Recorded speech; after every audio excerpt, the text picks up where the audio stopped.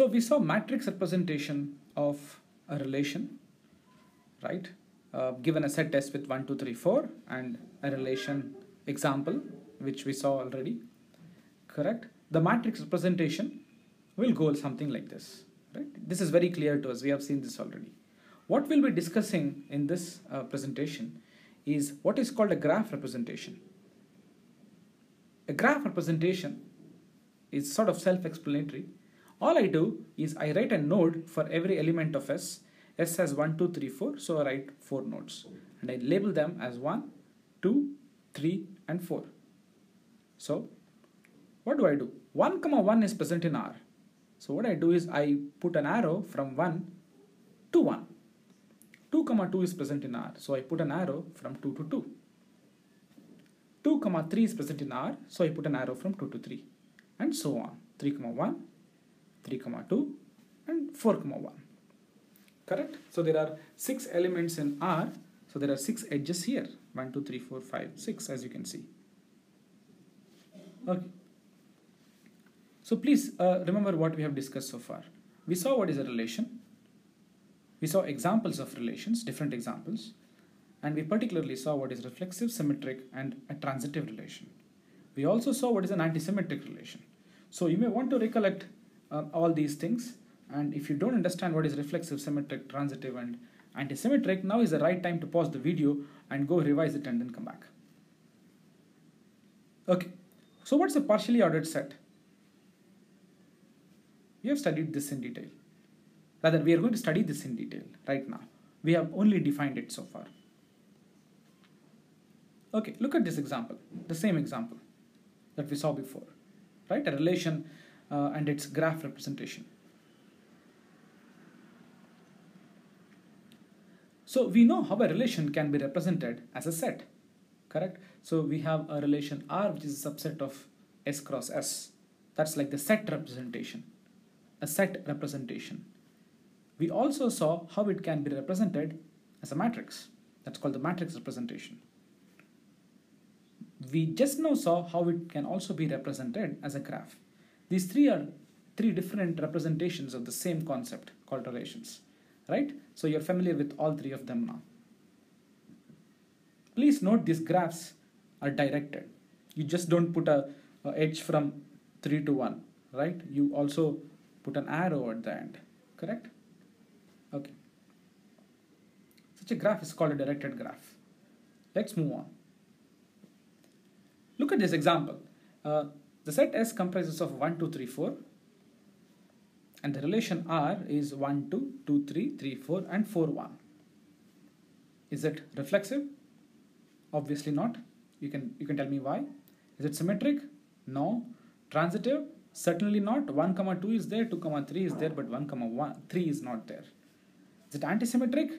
Yes, it is by definition because 1, comma 2 is there and 2, comma 1 is not there correct?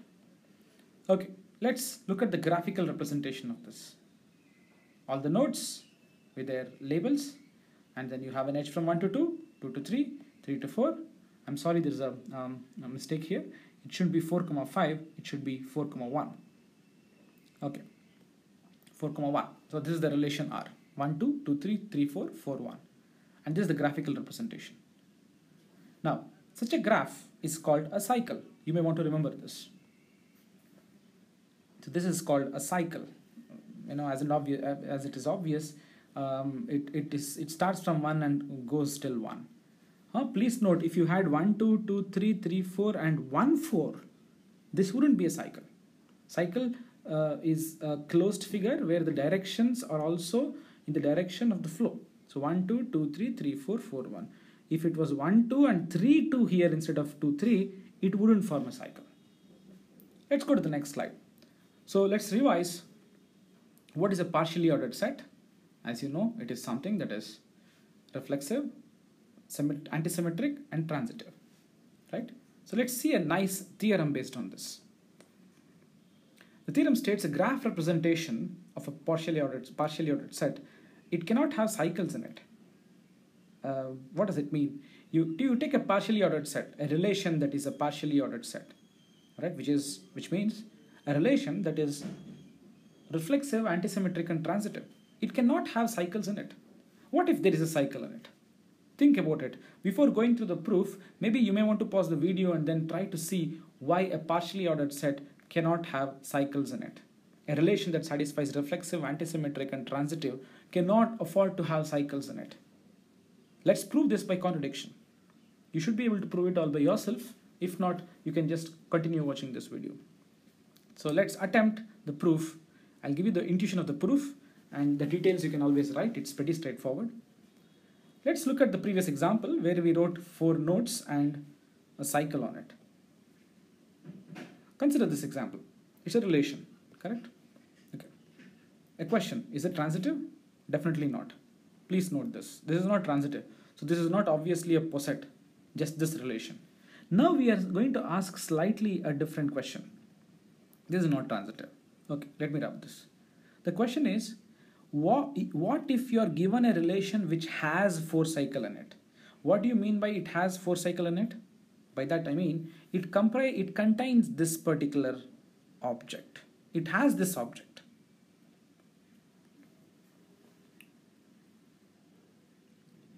Please note this. Any relation that has a four cycle in it can't be a poset is all we are trying to say. If, if you notice a four cycle in a, in a relation, in the graphical representation of the relation, if you notice a four cycle, you can close your eyes and say it is not a partially ordered set. Why is that? The reason is straightforward. Please observe. Let's assume there is a relation with uh, a four cycle in it, one, two, three, four, whatever this uh, figure is here. Assume there is such a relation with this particular figure there. Then what will happen? You see, 1 comma 2 is present and 2 comma 3 is present implies 1 comma 3 is present. Please note, this is part of a relation. You have this object. Doesn't mean 1 comma 3 is not there or 2 comma 4 is not there. I'm only saying a 4 cycle is there. Okay, all right. So given that, given that 1 comma 2 is there and 2 comma 1 is there, it implies that 1 comma 3 is there. Correct? Similarly, given that 1 comma 3 is there and 3 comma 4 is there, implies 1 comma 4 is there.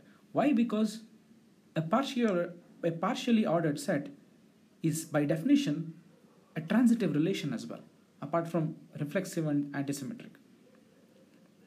So please observe that 1 comma 4 is there. Look at this. Look at this. 1 comma 4 is there, but 4 comma 1 is also there. Correct? We derived that 1 comma 4 is there. We derived that 1 comma 4 is there. But we observe that 4 comma 1 is also there. Now that's a problem. Correct? 4 comma 1 and 1 comma 4 both are there. This is a contradiction. Please note, from where did we start? We started with the fact that there is a poset and its graphical representation, we have a 4 cycle. And we now have a contradiction. What is a contradiction?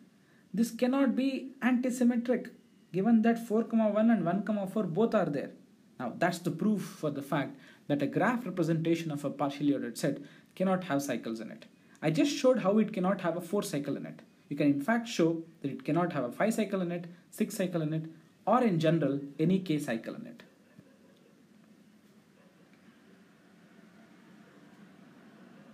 So the question is you should be able to prove this in general. The it's just proof will just have details, but the idea behind the proof is what I just now explained.